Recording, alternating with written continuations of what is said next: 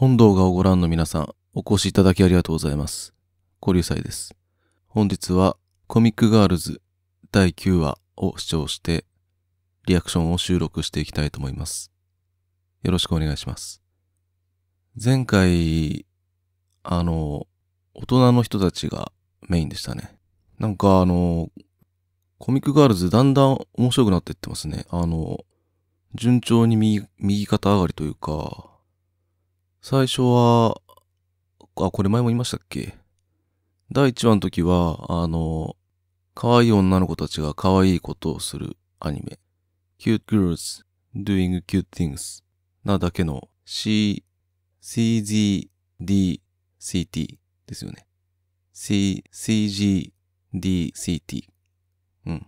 よくそうやって略称で呼ばれますけど、の、えー漫画家版ぐらいの感じで、まあなんか、キャラクター描写とか、ストーリーとか、まあ、テンプレがありますから、で、あの、テンプレ通りにやると、まあ、ある程度、それを期待してる層を取り込むには、まあ、お手軽なんですけど、創作としては密度下がるというか、まあ、没個性な、凡庸なものに、そっちの方向にどうしても引きずられてしまうんで、第1話見た感じだと、テンプレの側を漫画家に変えただけのものになる可能性が感じられたんですが、まあなんかだんだんもうどんどん濃くなっていって、で、この作品固有の人物像、キャラクターたちの姿がどんどん、なんていうんですか、明かされていって、で、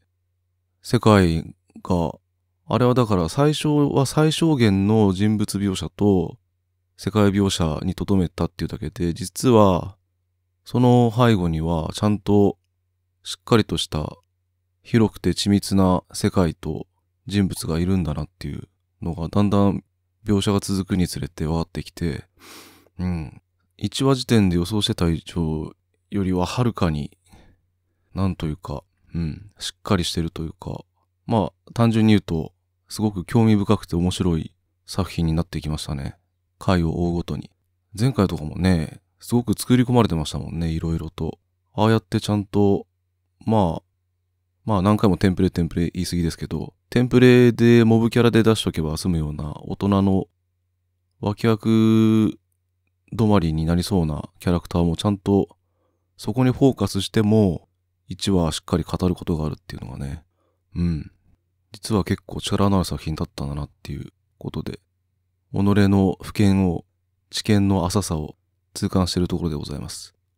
前は前はね、いろんなものに、あの、話の焦点が移っていって、よくそんなにネタがあるなと、しっかり作ってるんだなと。で、一つ一つ凝ってますしね。その、キャラクターが見せる一面にしろ。うん、そこで、あの、やりとりだの、行動だのも、うん、ありものを持ってきて切り張りして作ったようなものではない。まさに取ってつけたようなもので済ませれば楽ではあるんですが、そこを下げて創作をしていくっていうのが、うん。いや、おみそれしましたね。なわけで、えー、コミックガールズ第9話、カオスパイラル。カオスパイラルっていうとね、顔が次々永遠と出てくるみたいな感じですけどね。カオス先生のスパイラルですね。見ていこうと思います。3、2、1、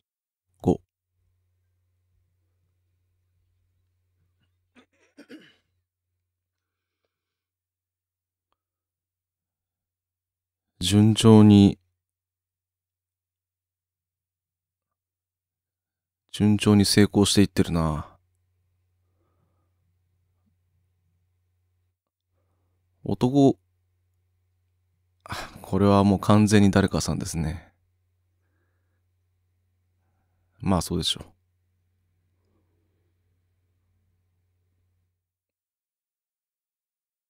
まあでも、あの男キャラよりはマシでしょ。女っぽくても。美しい男っていうことで。あの、1話でね、男の子を描くのが苦手なんだ、つって、またそんなずっと漫画家目指して書いててそこまでじゃないでしょと思ったら衝撃的でしたもんね。あの男キャラは。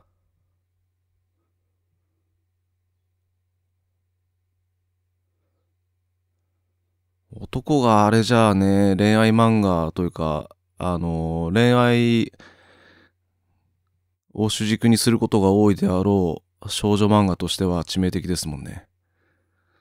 いくらね、主人公というか作中の女の子が憧れてるとかかっこいいとか言ったって、だいぶ読者の だいぶ読者の感覚と乖離しますよね。やっぱそれなら男はかっこよくないとダメだな。まあもしくはもう女の子しか出てこない、それこそキララの日常系でも書くとかね。まあでもそれをしないでちゃんと自分の書きたいテーマのために絵の上達を頑張ってんだから大したもんだ。うん。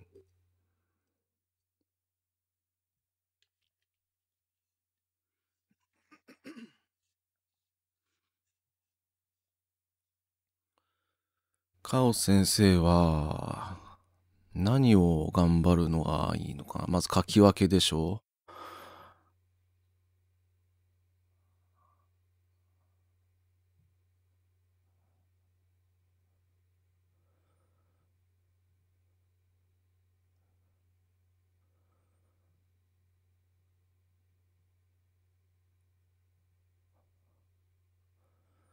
まあでも、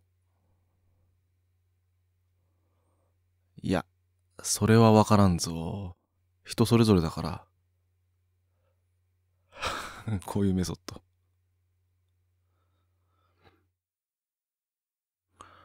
な、カオス先生言葉くっつけるの好きだな。デジタル機さんとか。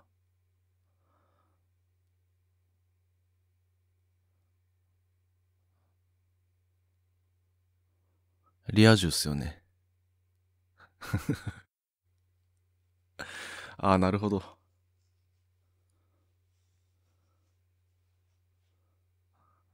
ああ、なるほど。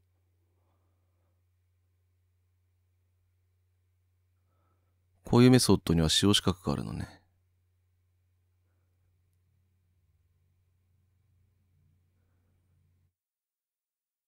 ああ。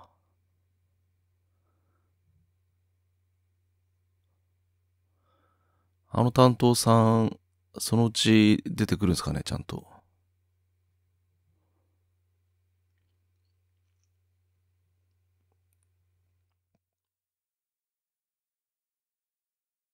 まあ出かけるのはいいよな、絶対。あら、翼さん。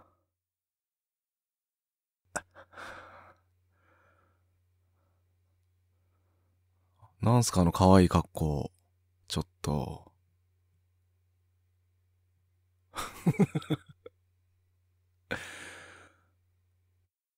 言葉選びが、なんだろう、おっさん臭いというか。でもね、カオ先生、個性あるもんね。無理によくある普通の漫画家に合わせなくていいんじゃないかな。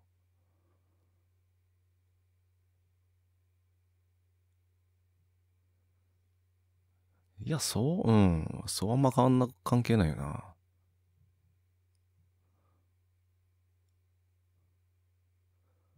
おう。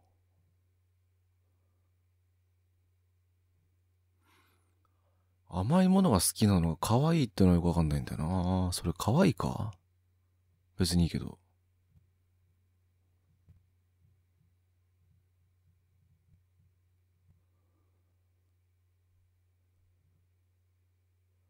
おう。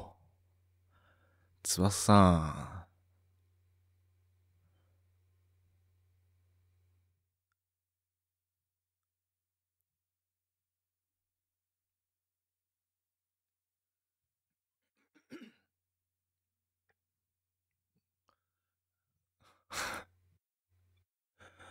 3カメ。おおね、そうね。こういうシチュエーションでは完全に力が逆転してんな。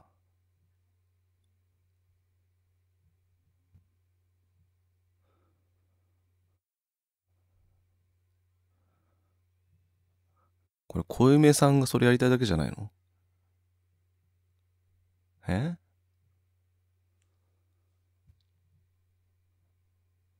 本当にコーディネートをしたいんですか？触りたいだけじゃないの？うわ、めっちゃ綺麗。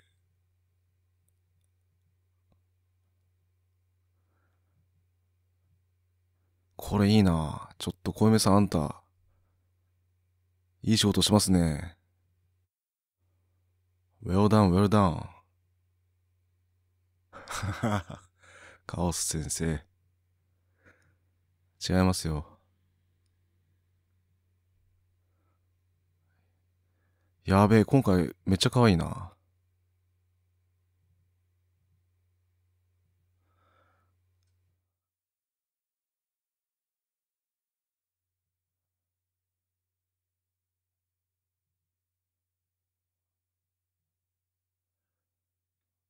でもなんか慌ててたりテンションがうわーやっべえかわいい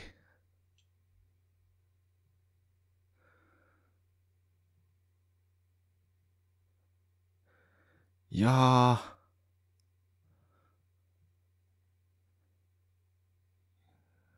ああ、そういうことか。なんで？ショートも全然素敵ですけどね。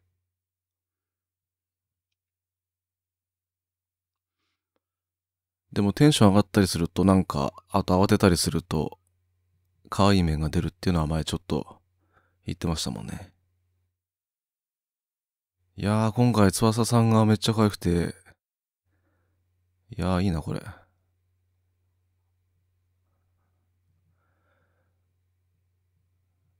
まあ、全然いいと思いますね。時間かかるけど。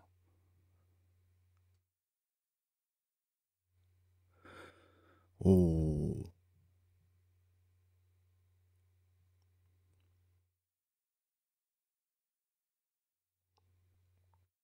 ねえ、ほんと。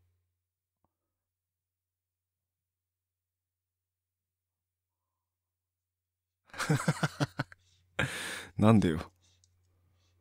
そたまたま、あね相性が良かったら、それはいいけど。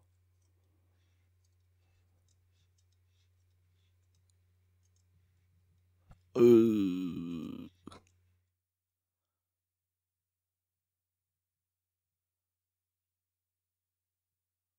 そらそうでしょう。うん。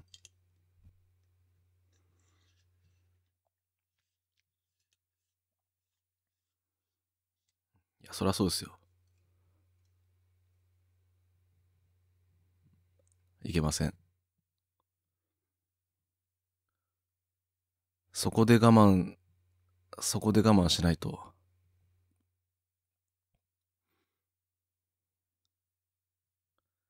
うわ本当にそうです。本当にそうです。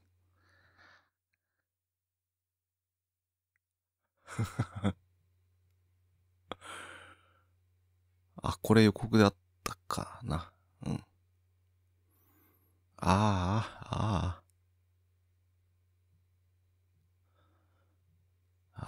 ああ、もうこれ完全にじゃん。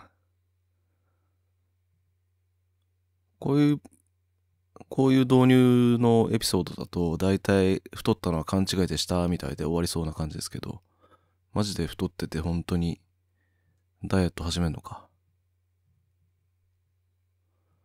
いや、あのね、そんな小手先のことで痩せないっすよ。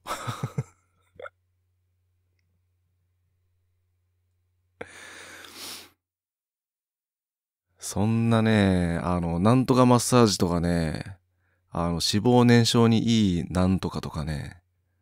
あと何？あの、暑い方がいいだの、寒い方がいいだの。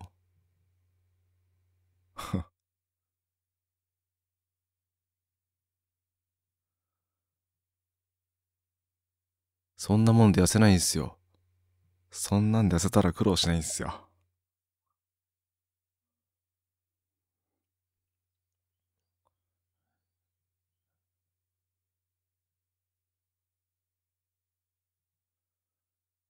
まあ、筋肉つけたいなら翼さん方式ですよね。で、細くしたいんだったら、うーん、縄跳びとか、あと、ボクササイズ。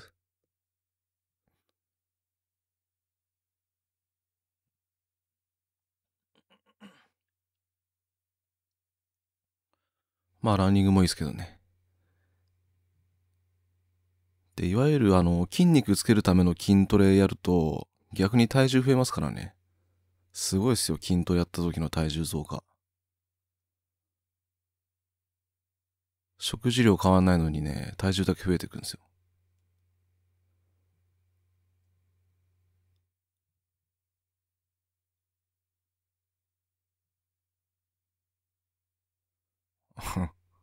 なるほど。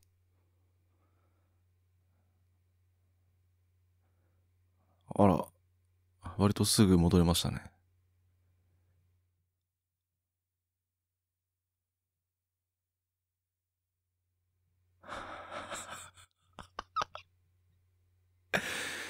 いやー、めっちゃわかる 本当にね、何でも食べ物に見えるんですよね。な、何の匂いでも食べ物の匂いに、いや、ほんとそう。何買いでも食べ物思い出すしね。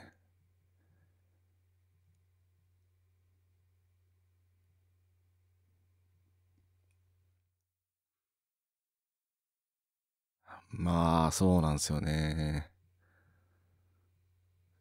常に抑圧してないといけないんだもんね。作品に出ちゃうか。そういえばみんな持ち込んでる出版社一緒の当たり前か。あの量があれか出版社なんですね。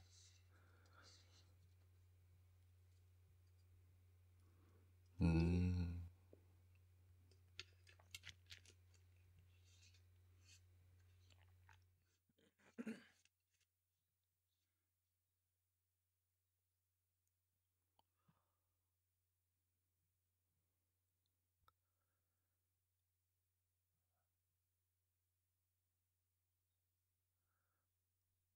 そうか。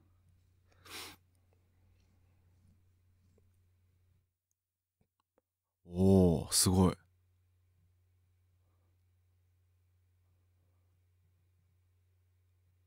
そこまですごいな。漫画が本当に最優先なんだな。ああ、オッケー。立派だと思う。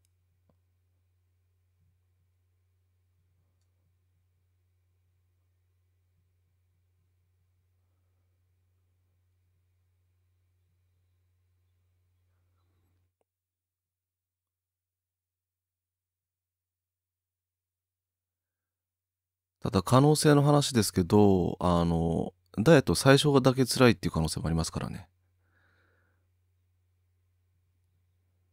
続けてたら、慣れてきて、ダイエットしながらでも漫画描けるようになる。以前のように描けるようになるかもしれんけど、まあそれは、そんなこと言ってらんないですからね。漫画に全力の人は。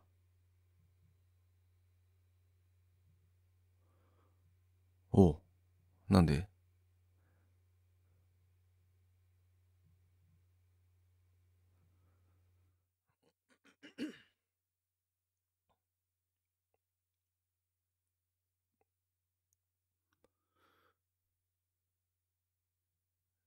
え？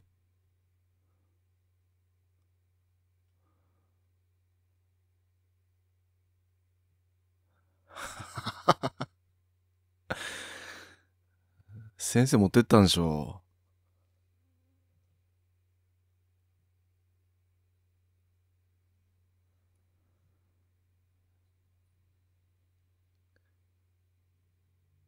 うまあこれで先生じゃなかったらほんとすいませんなんですけどね。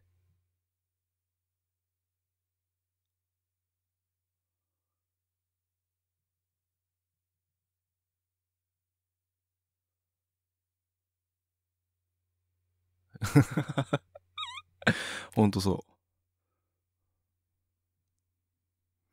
う。うん。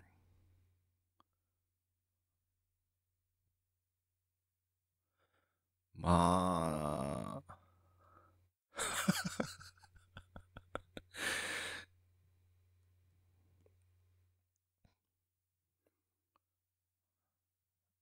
あ、先生じゃない、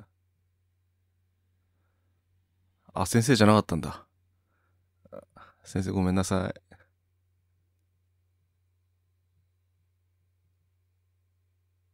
なーる。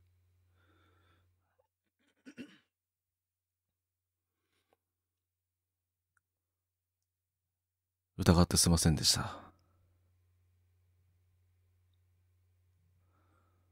なんで、頼もしい。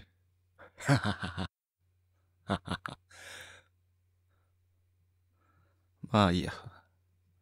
そのぐらい不純な動機があっても力になってくるんだったら、もう全く文句はございません。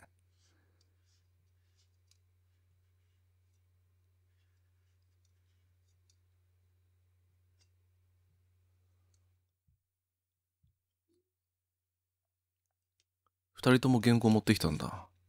てか、小夢自分の原稿大丈夫かな？あんだけ落とし物してると、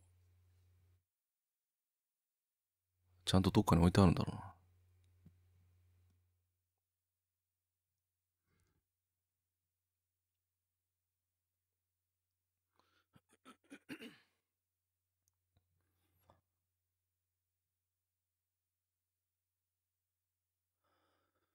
どこっすかね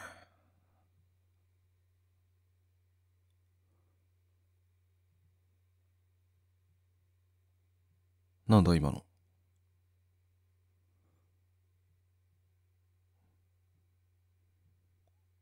はい。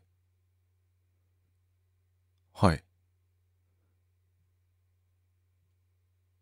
あー、なるほど。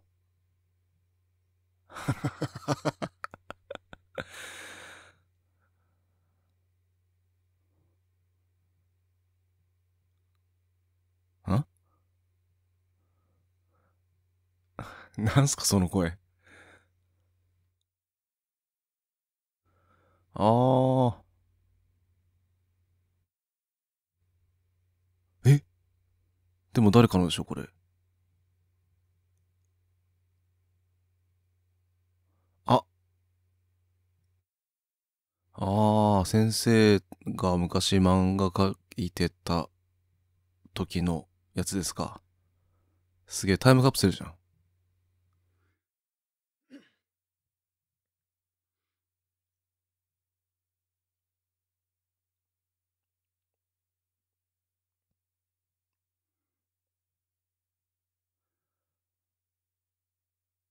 まあ、まさか、うん。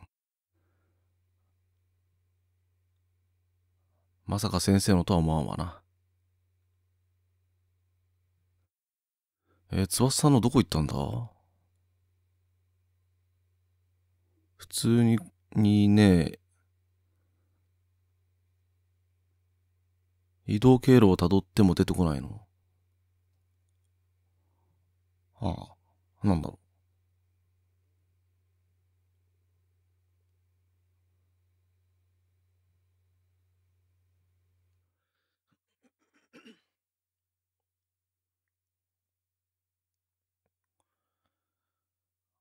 あ、そっか。そっかそっか。結構いろいろまずいですね。まあ、ただなくしただけでもね、書き直すのめっちゃ大変だし。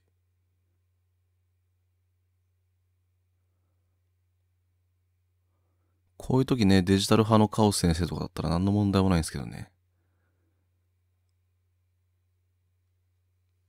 媒体とか誰かに拾われなければ。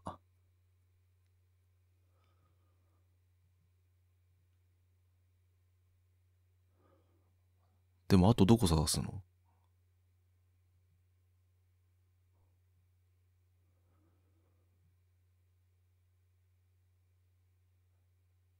誰？あれ？これ、フーラ先輩？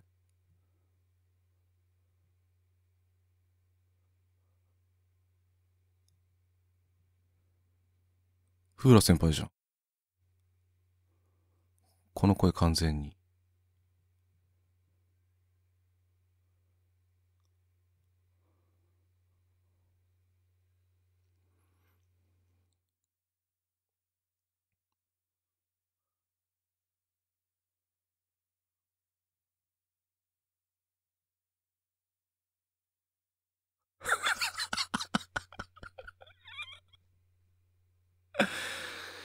いやー。いやーなんか今回すごく、なんでしょう、ギャグが濃密でしたね。一個一個切れてたしな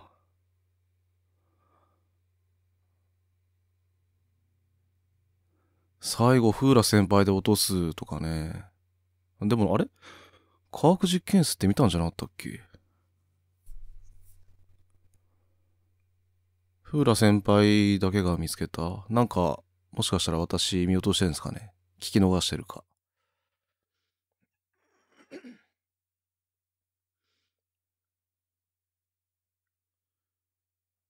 なんかほんと、あの、見る前も言いましたけど、回を追うごとに面白くなっていきますね。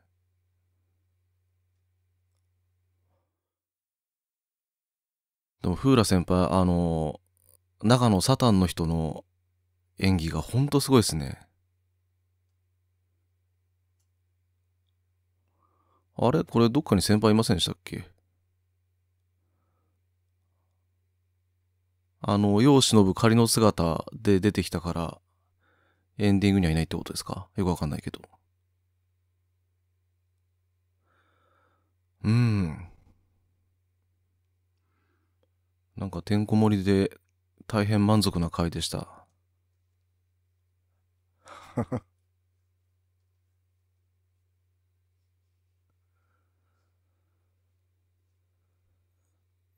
うん。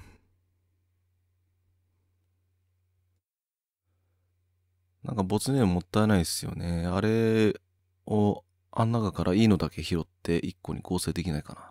あと次回予告が毎回、あのー作風を変えてるんですね。うん。なんかいろんな工夫が詰まってるし、今回は特にそうですけど、うん。濃密でいっぱい笑っていろんなことが、あの、特に翼さんが今回スポット当たってましたけど、またいろんな面が出てくるもんなんだなうん。いや、面白かったです。なんか一話一話でこう、うん。その話の中にまとまっているのが上手だなうん。まあ、そんなとこっすかね。いやー、よかったよかった。ナイスナイス。こんな感じで、えー、コミックガールズ第9話見ていきました。お付き合いいただいた皆さんありがとうございました。また次回でお会いしたいと思います。それではまた。